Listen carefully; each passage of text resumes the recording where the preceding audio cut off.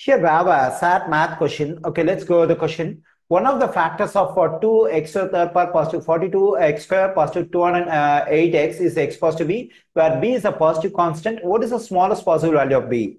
Okay, here uh, for the given uh, polynomial, x positive b is one of the factors and we have to find the smallest possible value of b and also b is a positive constant. Okay, so for that we have to factor uh, the given uh, polynomial so let me write the given polynomial. There is 2x cube, positive 42, x square, uh, positive uh, 208x. Okay, so to factor uh, this polynomial, uh, let's find the greatest common divisor uh, for all the terms in this uh, polynomial. So the greatest common divisor is 2x because here 2, 42 is an even number. It's also a multiple of 2 and this also multiple of 2 and all the three terms contain x. So 2x is the greatest common divisor for all the terms in this expression. So we can factor 2x out. So when I factor 2x out, so what I have left in the first term? For that, I have to divide the first term 2x cube by the 1 I factor that is 2x. When I divide this 2x cube by 2x, this 2 2 will cancel out. When I divide x cube by x, I'm getting x square. Okay, so here. And to know what I've left in the second term, I have to divide this 42 x square, the second term, by the 1 I factor that is 2x. So when I divide 42 by 2, I'm getting 21. When I'm dividing x square by x, I'm just getting x. So 21x. And to know what I've left in the third term, I have to divide uh, the third term, 2, 28x uh, by the one I factor, that is 2x. So when I divide 208 by 2, I'm getting 104 and this xx uh, will cancel out. So I have 104 over here. Okay, so even uh, to check uh, like uh, the, whether we have factored correctly, we can distribute this 2x to this, this, this, and we can, we have to get the original expression.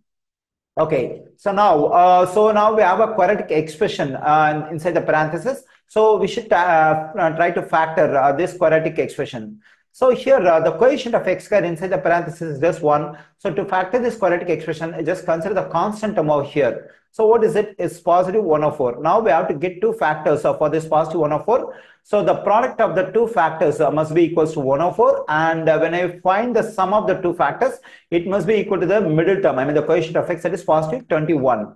So I think uh, positive 8 and positive 13 will work. So when I multiply positive 8 and positive 13, that is positive times positive will become positive and 8 times 13 will become 104. So when I add uh, positive 8 and positive 13, I'm getting positive 21, so which is a coefficient of x. So the two factors of this uh, quadratic expression are uh, x positive 8 times x positive 13.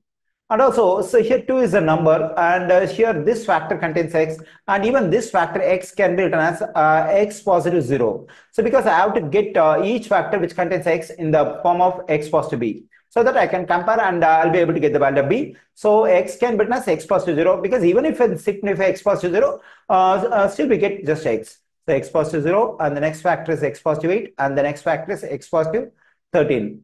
Okay, so we can ignore uh, the number, the factor 2 because it's just a number. We have to consider only the factors which contain x because uh, x to b is uh, one of the factors of this uh, polynomial.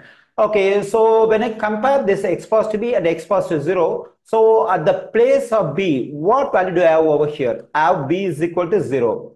In case if I compare x to b and x to positive 8, at the place of b, what do I have? I'm having 8. So b is equal to 8 from the second factor.